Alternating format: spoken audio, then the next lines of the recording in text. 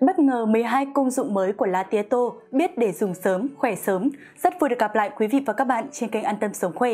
Quý vị thân mến, nhắc đến lá tía tô chắc chắn không còn quá xa lạ với chúng ta phải không ạ? Tía tô được biết đến là một loại rau sống ăn kèm, phổ biến trong những bữa ăn của các gia đình. Đặc biệt là người ta còn hay sử dụng lá tía tô để nấu cháo vừa bổ dưỡng, vừa giúp giải cảm vô cùng hiệu quả. Tuy nhiên nếu như chúng ta biết đến lá tía tô với công dụng đó thì thực sự đang lãng phí đi một thần dược trời ban.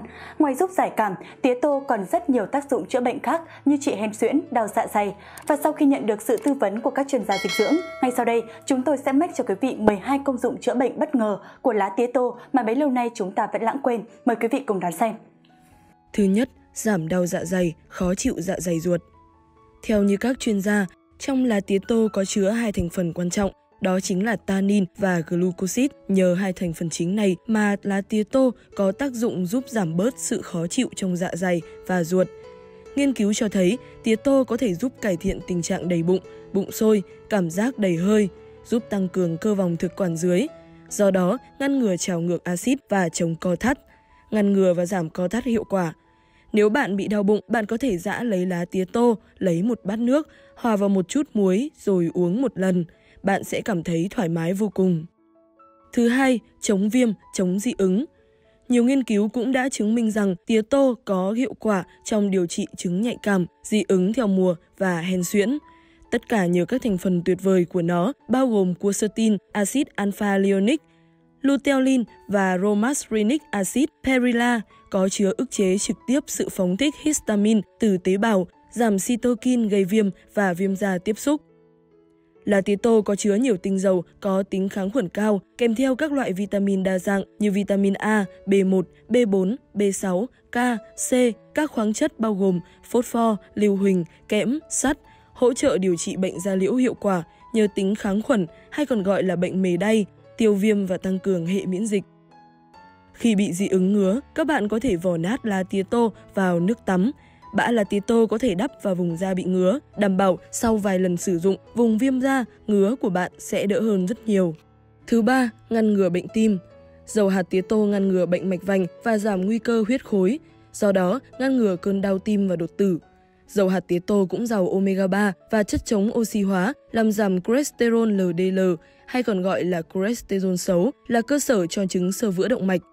Nghiên cứu cho thấy rằng những người sử dụng dầu tía tô thay cho dầu đậu nành giúp ngăn ngừa bệnh mạch vành và giảm nguy cơ hình thành huyết khối, ngăn ngừa đau tim và đột quỵ hiệu quả hơn.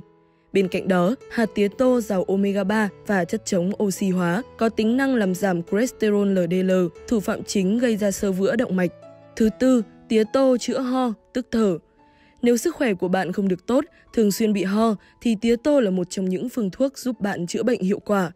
Tía tô có vị cay, tính ấm, đi vào các kinh tâm và phế, có tác dụng làm thoát mồ hôi, hạ khí, tiêu đờm, là tía tô có tác dụng chữa hắt hơi, sổ mũi do viêm đường hô hấp trên, cảm mạo, sốt, ho rất tốt. Cách làm, bạn có thể lấy cành lá tía tô và đoạn vỏ rễ cây dâu bóc trắng, đun lấy độ một chén nước cho uống. Uống liên tục 5 ngày để đạt được hiệu quả tốt nhất hoặc dùng lá tía tô tươi 150g, ba củ hành tươi thái nhỏ cho vào cháo nóng, ăn lúc còn nóng. Thứ năm, chữa các chứng chảy máu do ho, nôn, tiêu chảy. Khi có các chứng chảy máu do ho, nôn, tiêu chảy, bạn có thể lấy nhiều lá tía tô cho vào nồi đun gạn bỏ bã, cô đặc thành cao. Cách làm, lấy một ít đậu đỏ rang vàng, tán nhỏ trộn với cao, rồi viên thành từng hạt nhỏ để uống, mỗi lần 50 viên. Thuốc này sẽ hạn chế được phần nào sự chảy máu. Quý vị thân mến, tía tô có tác dụng chữa các chứng rối loạn tiêu hóa, ngộ độc cua cá. Hãy ghi nhớ điều này bởi trong số chúng ta có khá nhiều người khi ăn cua cá, đồ hải sản sẽ bị ngộ độc, dị ứng do cơ địa không đáp ứng. Vì vậy, mỗi khi mình hay người thân bị ngộ độc do nguyên nhân trên đây, hãy nghĩ ngay đến lá tía tô bạn nhé. Vậy cách sử dụng tía tô chữa ngộ độc hải sản như thế nào? Mời quý vị tiếp tục tìm hiểu. Thứ sáu, chữa các chứng rối loạn tiêu hóa, ngộ độc cua cá. Cách làm, lấy 5 lá tía tô tươi, giã lấy nước cốt để uống, hoặc pha một ly bột tía tô rồi uống nóng. Bên cạnh đó, thành phần kháng khuẩn có trong lá tía tô còn kích thích hệ miễn dịch, giúp xoa dịu các triệu chứng đau nhức cơ bắp. Thứ bảy, tía tô với bệnh gút. Trong tía tô cũng chứa nhiều tinh dầu và các hoạt chất có tác dụng giảm đau, chống viêm, giãn mạch, ngăn chặn quá trình nhiễm khuẩn một cách tự nhiên, nên có tác dụng rất tốt trong các đợt cấp tính của bệnh gút. Thêm vào đó, tía tô cũng có tác dụng lợi tiểu, kích thích mạnh tuyến mồ hôi, giúp đào thải lượng axit uric trong máu. Từ đó, có tác dụng điều trị và phòng ngừa bệnh gút hiệu quả. Đối với những người bị bệnh gút thì hàng ngày nên dùng lá tía tô ăn như rau sống trong các bữa cơm để đề phòng bệnh tái phát. Còn khi lên cơn đau bị sưng tấy nên dùng lá tía tô nhai và nuốt ngay để chặn cơn đau lại. Bên cạnh đó, có thể uống nước lá tía tô, sắc như sắc thuốc bắc cơn đau sẽ giảm rất nhanh. Thứ 8. Làm đẹp da là tía tô rửa sạch, phơi khô và pha như pha trà, uống hàng ngày sẽ làm đẹp da, trắng da, tăng độ ẩm cho da, chống lão hóa, làm mềm những vết chai sần trên da. Cách làm Để tăng hiệu quả, bạn có thể dùng cành và lá tía tô tươi, thái nhỏ, rửa sạch ngâm vào nước sôi trong khoảng 15 phút, hòa cùng với nước lạnh đến độ ấm vừa đủ, tắm khoảng 4 lần một tuần. Với những vùng da có nhiều mụn thịt, mụn cóc, hãy giã nát một nắm lá tía tô rồi trà lên những vùng da có mụn thịt, mụn cóc.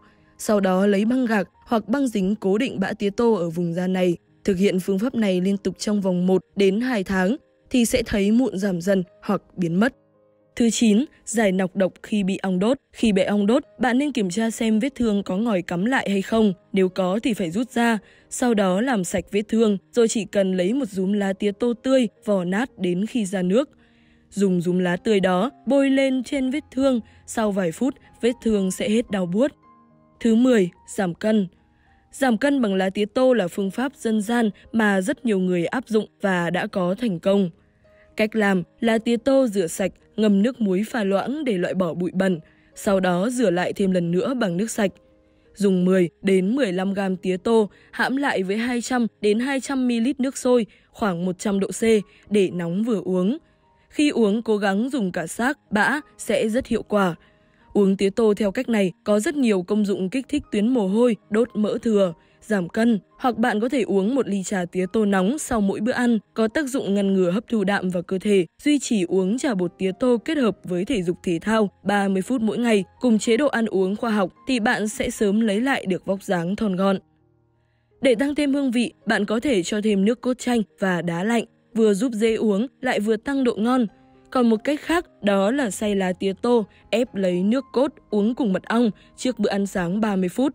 Tuy nhiên, nhiều người sẽ không chịu được vì vị hăng của lá tía tô. 11. Giúp con đi tiêm phòng không bị sốt. Trước khi cho con đi tiêm phòng 2 ngày, các mẹ nên lấy lá tía tô ăn sống. Mẹ nào kén ăn thì có thể ăn kèm với thịt đậu sốt cà chua. Sau đó cho con bú càng nhiều càng tốt. Tuy nhiên, đối với những trẻ không được ăn sữa mẹ hoặc được ăn ít sữa mẹ do yếu tố khách quan phải ăn những sữa công thức thì các mẹ có thể áp dụng cách dưới đây. Cách làm lấy một nắm lá tía tô rửa sạch, giã nhuyễn hoặc xay nhuyễn, chắt lấy nước cốt uống. Nếu con bạn khó uống, có thể cho vào nồi đun sôi rồi cho con uống. Lưu ý, chúng tôi không khuyến khích các mẹ cho con uống trực tiếp như thế này bởi vì có một số bé cơ địa không phù hợp có thể dị ứng với thành phần của lá tía tô. 12. Tía tô giúp giải cảm Cây tía tô chứa 0,5% tinh dầu, chất màu xám được gọi là este của cyanin chloride Tinh dầu tuyệt vời này có thể giúp bạn giải được các cơn cảm mạo. Cách làm Chữa cảm lạnh là tía tô tươi một nắm, sắt nhỏ ăn với cháo nóng. Cháo giải cảm là tía tô sắt nhỏ 10g, hành sống giã nhỏ 5g, gừng tươi giã nhỏ 3 lát, gạo tẻ 30g, muối vừa đủ. Nấu cháo nhừ, cho tía tô, hành, gừng, muối khuấy đều. Ăn khi còn nóng, da mồ hôi sẽ nhẹ người hơn. Cảm cúm không có mồ hôi và ho tức ngực, nôn đầy, dùng 20g lá tươi giã nhỏ, chế thêm nước sôi, quấy đều, gạn lấy nước nóng. Hoặc dùng 10 lá sắt nhỏ trộn với cháo nóng, ăn rồi nằm nghỉ cho ra mồ hôi. Cảm cúm, gai rét không ra mồ hôi. Tía tô, lá chanh, bạc hà, lá xả, mỗi thứ một nắm nấu nước sông. Cảm cúm có ho và nhức đầu thì dùng tía tô, kinh giới, lá lốt, mỗi thứ một nắm. Củ ném 50 củ, nghệ tươi, gừng tươi 3 lát, đổ 3 chén nước đun sôi kỹ, xông cho ra mồ hôi rồi uống thêm một chén nước nóng. Chữa cảm cúm 4 mùa, dùng tía tô, kinh giới 20g, sắn dây, bạc hà 10g, nghệ, gừng 8g và xài hồ 15g. Trừ gừng là dùng tươi, còn lại đều để khô.